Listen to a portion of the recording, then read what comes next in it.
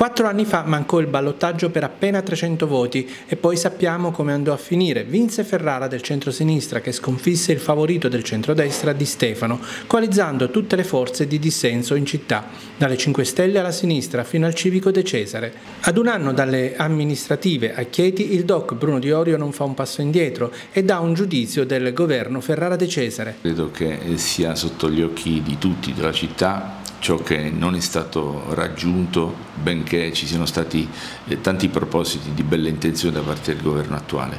Siamo passati da una giunta di centrodestra che ci ha portati a un dissesto, ma questo nuovo che si era proposto come nuovo alla luce dei fatti è nettamente peggio del vecchio.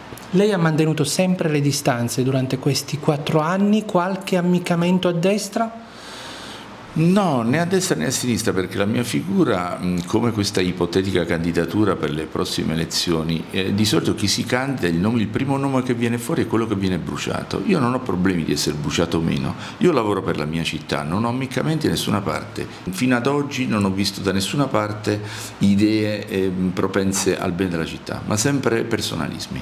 Lei ritiene che questa volta ci sia lo spazio opportuno per un Diorio alternativo a questo centrodestra e a questo centrosinistra? Sinistra? Non è questione di Diorio Bruno o altri nominativi, eh, io eh, sono in linea con quello che abbiamo fatto nel 2020, ci eravamo staccati perché eravamo disgustati da un certo tipo di, di gestione della cosa pubblica, ma se all'orizzonte si prefigurano questi soggetti, quelli del passato e quelli attuali, Diorio Bruno ha il dovere perché vive a Chieti, lavora a Chieti e è innamorato di questa città, di metterci la faccia, io non ho problemi.